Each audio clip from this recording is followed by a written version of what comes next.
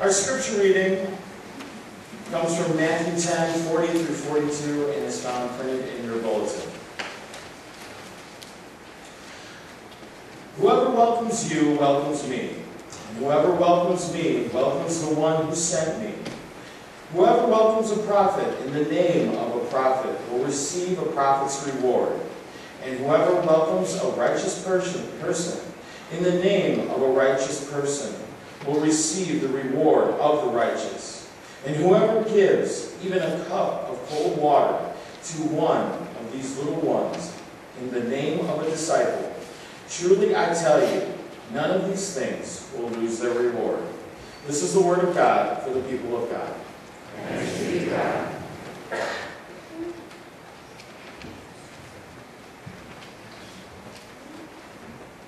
I have to tell you, um, one of the blessings of being here is to sing a hymn out of the United Methodist. For nine years, um, uh, the, the church I served in, in Bowling Green, Trinity, came out of the uh, Evangelical United Brethren tradition, and uh, they never bought into the Methodist side of the merger. Uh, and so I've been working with this antiquated hymnal uh, that really is more Baptist-oriented than United Methodist-oriented. And I used to whine about it all the time. I would say, tough. Get over it.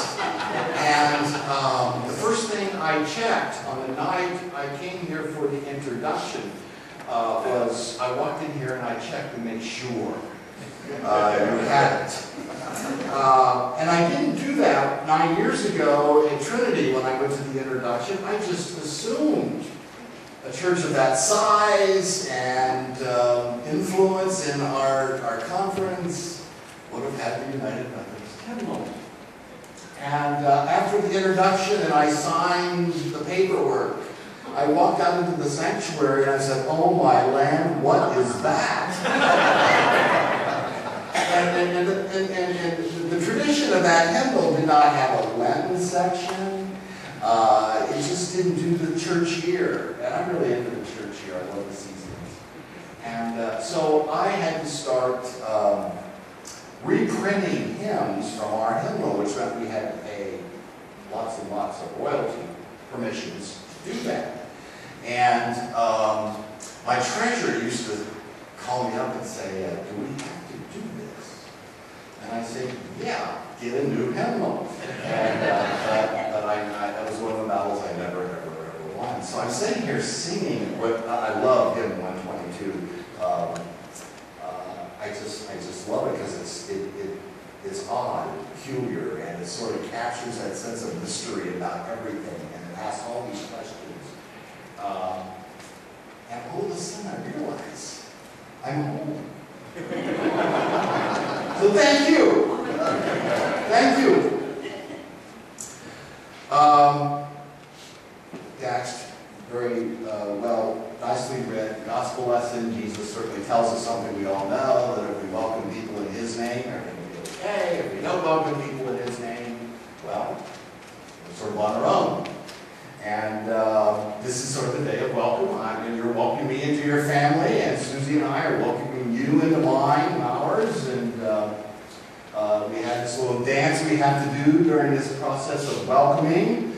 We have to uh, learn how to uh, read each other, and we have all these questions like, um, you know, are we going to get along? Are we going to, how are we going to, are we going to agree or disagree? How are we going to handle conflict, all that stuff, you know, at least that's sort of there. And, and uh, at the end of the day, do we really belong to each other? If the hymnal's any indication.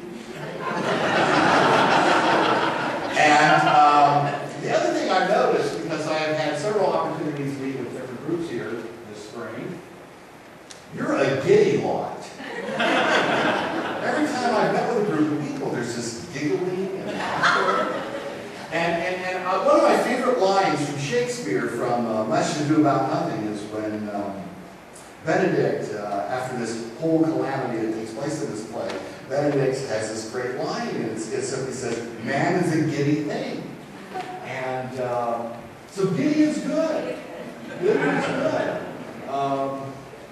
When I went to Trinity, uh, I would talk and someone would come up to me afterwards and they would say, uh, you know, you said something that I thought was sort of funny, but I knew I shouldn't laugh in church. and I said, oh, my, you laugh in church? Well, that's not the way we do it here.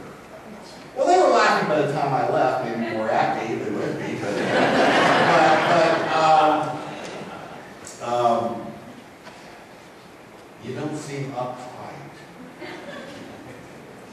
And I think that's a good thing to quote Martha Stewart.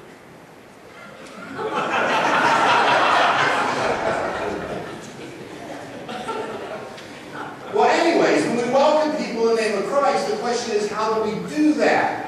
What does that mean?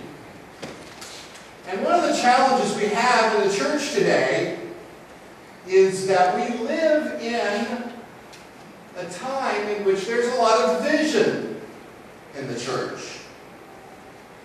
And there are all these controversial issues that are floating around in our society.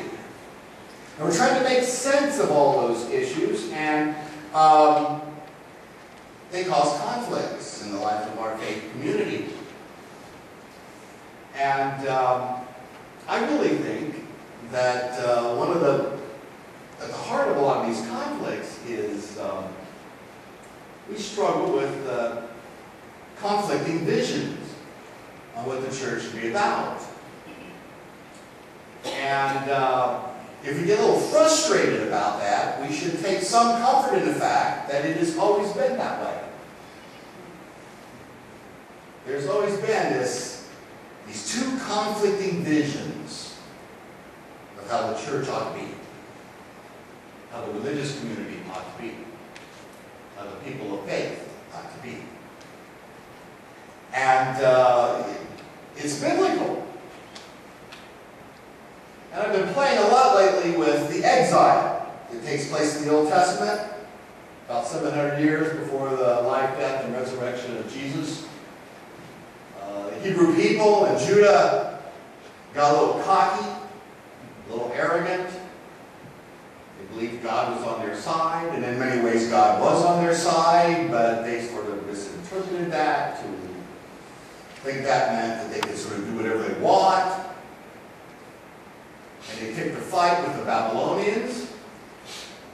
And you know what? The Babylonians really came down on them like a ton of bricks. And when the Babylonians won the war, uh, they came in and they tore down the temple, and they disassembled the, the government, and then they did the worst thing you could have possibly imagined. They looked at the population of Judah, and then they went out and they best and the brightest. They picked the smartest and the prettiest.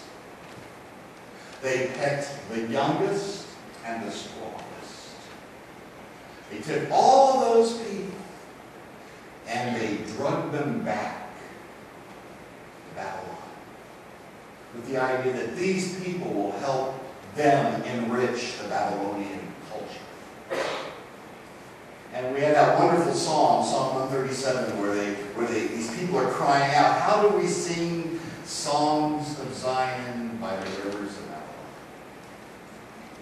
How do we sing praises to God when our hearts are broken?"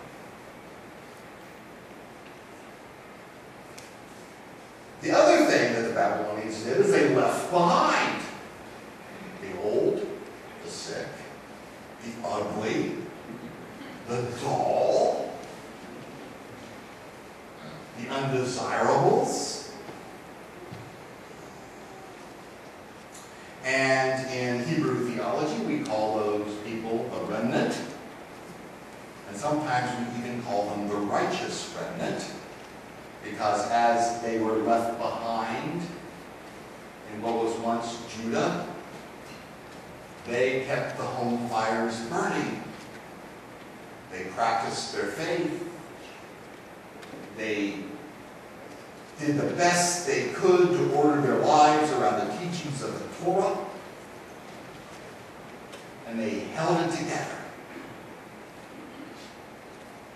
and they held it together for three and a half generations, 70 years. And then Babylon got cocky. And it got arrogant. And it decided to pick a fight with the Persians. And Cyrus, the king of Persia, had read about Yahweh and found the whole story of the Hebrew people fascinating. And so when Cyrus beat the daylights out of the Babylonians and took over Babylon, one of the first things he did is he issued a decree.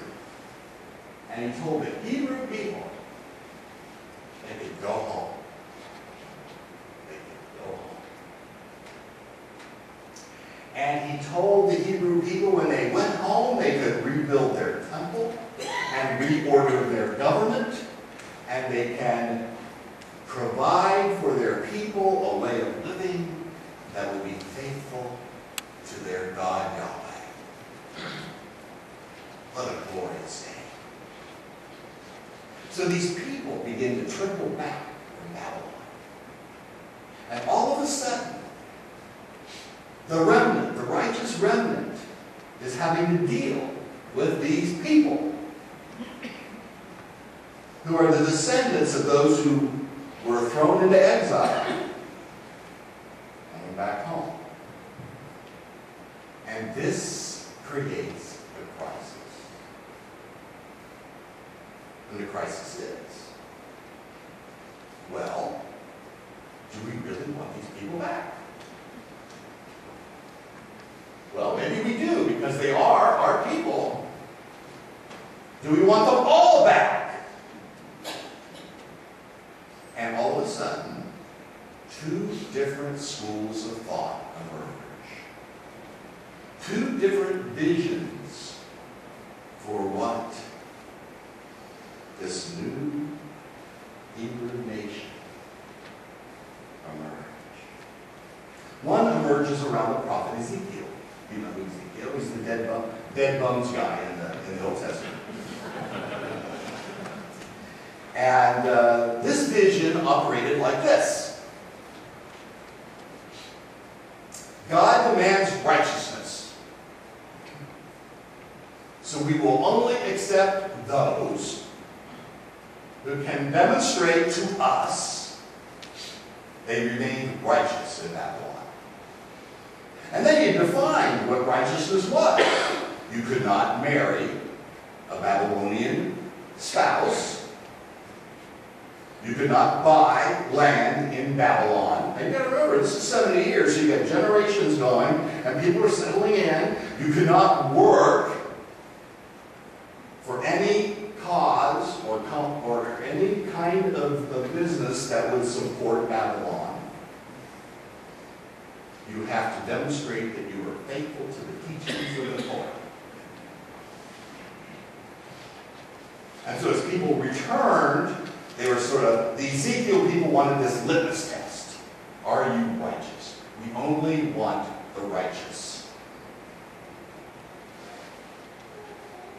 And then the other group is the community that formed around the teachings of the prophet Isaiah. They had an entirely different vision for this new start. And this vision went like this. God is about reconciliation. God is about healing. Yahweh is about doing what you can to make your family whole. And so they argue that anyone and everyone who wants to come home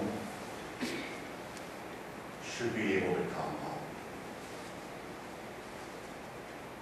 Anyone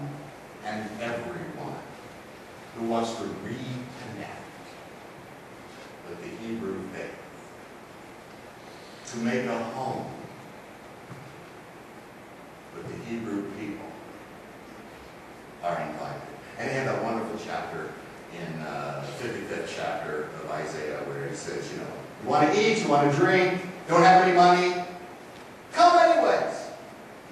Come anyways. It doesn't make any difference. We want you home. We want you home.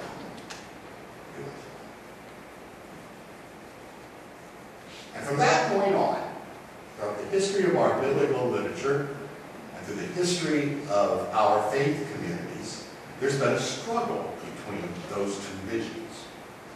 Do we expect righteousness? Or do we live in a community that wants to make the family whole? In American Protestantism, um, in the society we live in today, there are those two visions that's straining and creating challenges for the life of the people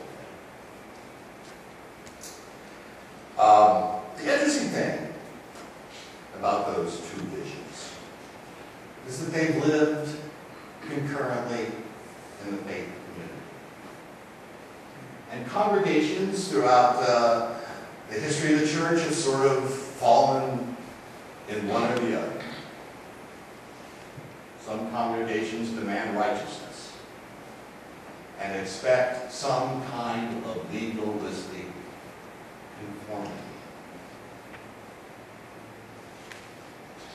to a set of principles and teachings. And others see their work as the work of reconciliation, of making the family whole. You're all curious.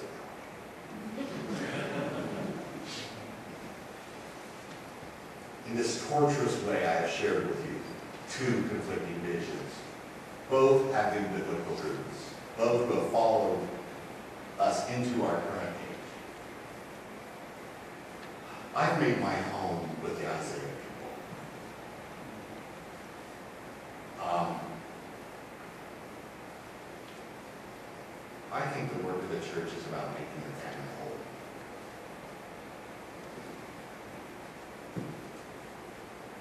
Righteousness makes me a little nervous.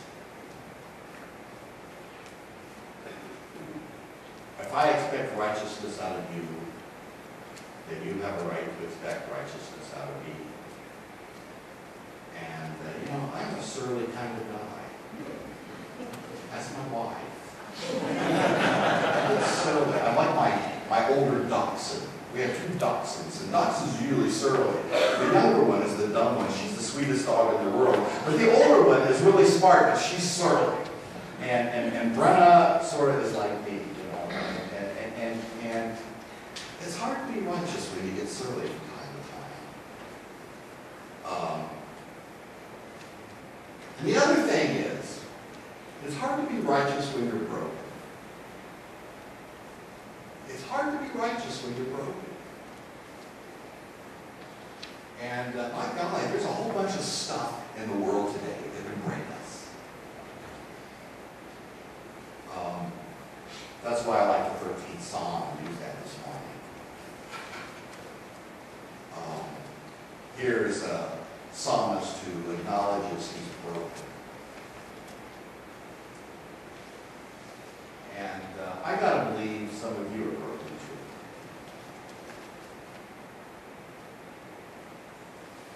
Because this is the way it is in life. So I was raised in a church that practiced the vision that Isaiah taught. Come home. Be part of the family. Our mission is to make the family whole. The last nine years, I was appointed to a church whose vision was in the righteousness camp. The first week I was in my office, one of the church leaders wandered into my office and told me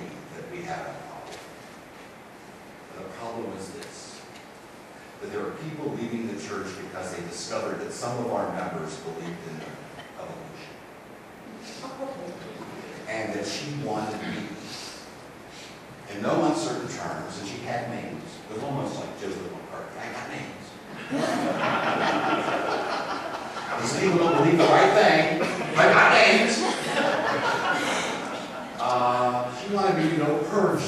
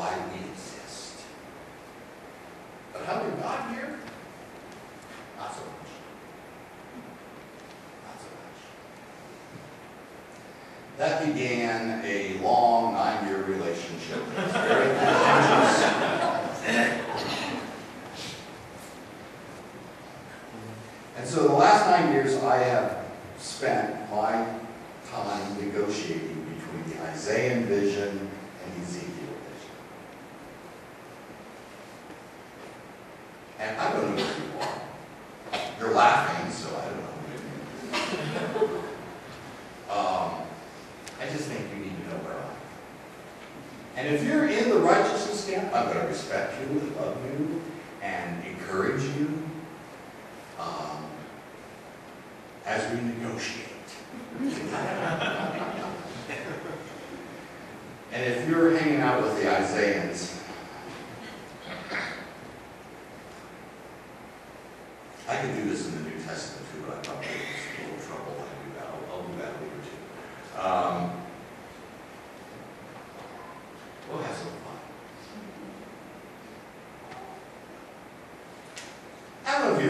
Anne Lamott. She's a writer, about my age.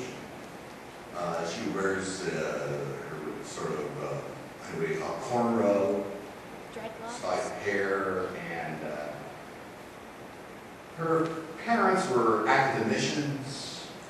They lived, uh, she was raised in Seattle. Her parents told her since she was a little girl, stay away from church people. They're nuts. and we are.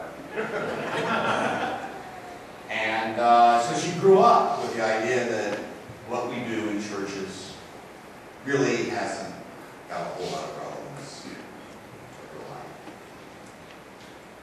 She entered adulthood, she got addicted to drugs, she got addicted to alcohol.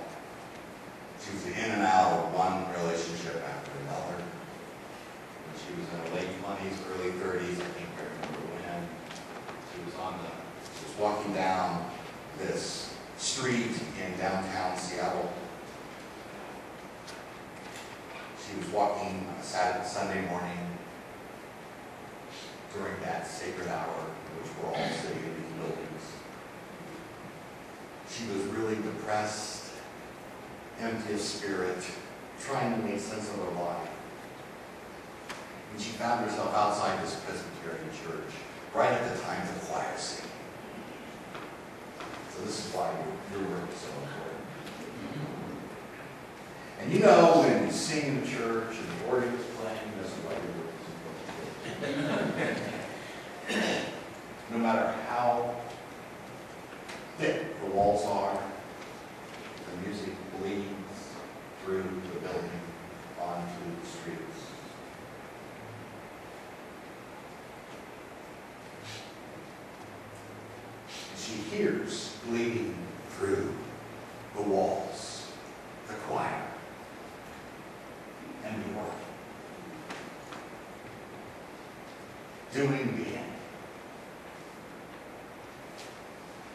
Said it sounded sweet.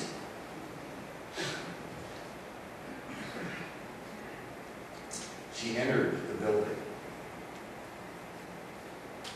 There were about 30 very old people worshiping in that space. And a handful of people in the choir singing the hymn.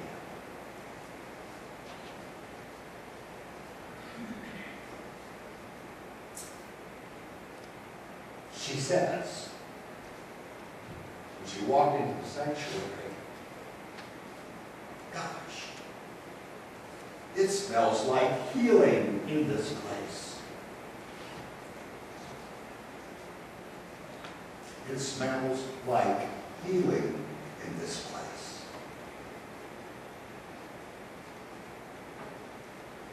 So she went back the next Sunday. Sunday after that. And these 30 old people, she says, 30 old people adopted her.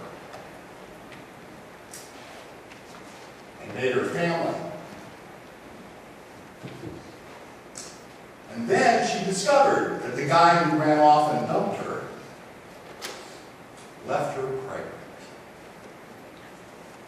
And she got fearful.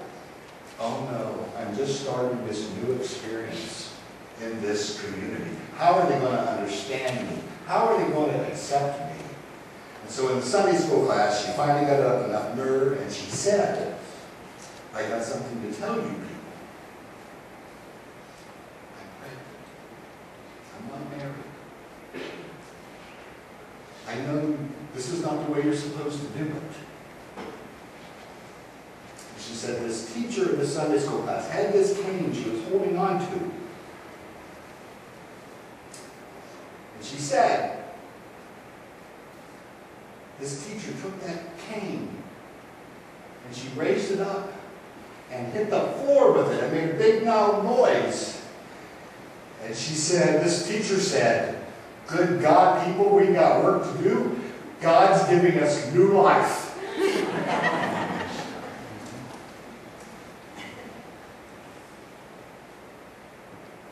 I want this place to smell like healing. That's what I'm going to work for. Every day I come to work. I want us to make our family whole. And if we break a few rules in the process, and if we're not so legalistic about it, so be it. Know that you are loved in the name of the Father, and Son, and Holy Spirit. Amen.